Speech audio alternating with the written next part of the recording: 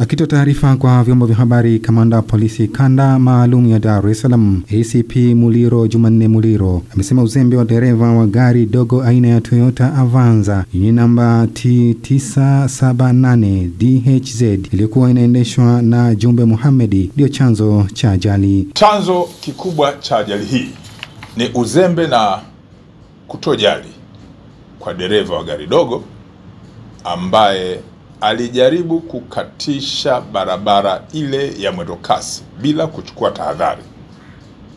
Wakati huo gari la mwendokasi lilikuwa kwenye barabara yake likiwa kwenye safari kama nilivyosema, kivukoni kwenda Kimara, na ghafla wakaweza kugongana katikati ya barabara hiyo ya mwendokasi.